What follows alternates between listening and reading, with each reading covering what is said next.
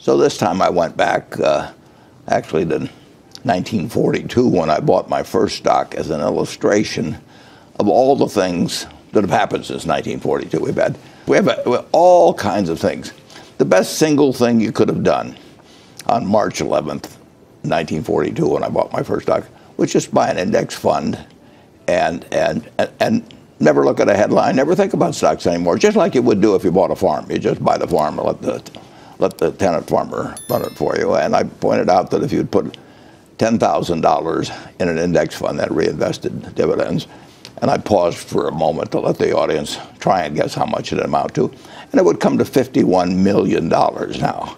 And the only thing you had to really believe in then is that America would win the war and that you didn't have to worry about what stock to buy. You didn't have to worry what day to get in and out. You didn't, you didn't know the Federal Reserve would exist, whatever it might be.